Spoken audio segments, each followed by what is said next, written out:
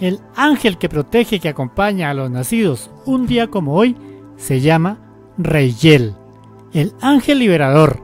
Él pertenece al coro de las dominaciones.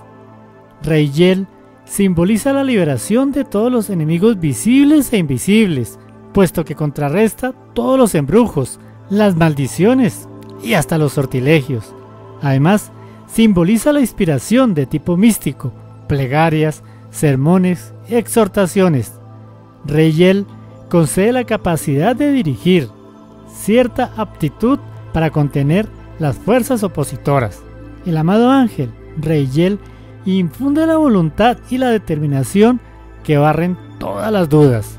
Reyel es el ángel número 29 de la Sefirá, el cuarto Geset del coro de las dominaciones y se encarna en nuestro mundo bajo la forma del planeta Júpiter.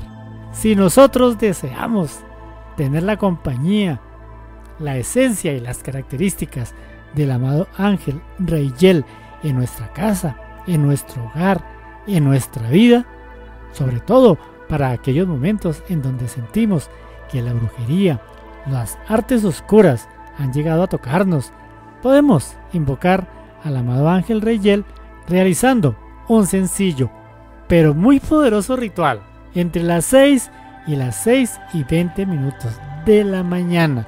¿Y qué vamos a necesitar? En nuestro altar, el de la casa, allá, en donde tenemos una mesita vestida con un mantel blanco. Allí podemos colocar una vela de color azul celeste. Purificamos el lugar para hacer oración con incienso de sándalo. Colocamos una planta de lotus y de cuarzo el zafiro. En la mitad colocamos ese magnífico, maravilloso sello celestial que ha sido diseñado con signos secretos y mágicos para que el ángel Reyel llegue a nuestra casa. Luego encendemos el velón, cerramos nuestros ojos, juntamos las manos y procedemos a elevar la siguiente oración.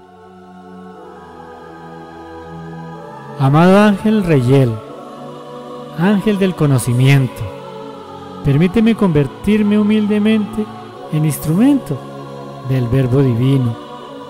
No permitas que mi ego domine sobre mi misión y que mis ambiciones suplanten mi verdadera vocación. Quiero ser el fiel mensajero de la palabra divina y utilizar mi carisma para el bien de todos. Gracias, amado ángel Rayel. Así es, así se cumple. Amén, amén y amén. El ángel Reyel favorece a sus protegidos y que se dedican a ser predicadores, políticos o hombres de negocios. También a los visionarios, a los místicos, a los iniciados, también a los filósofos.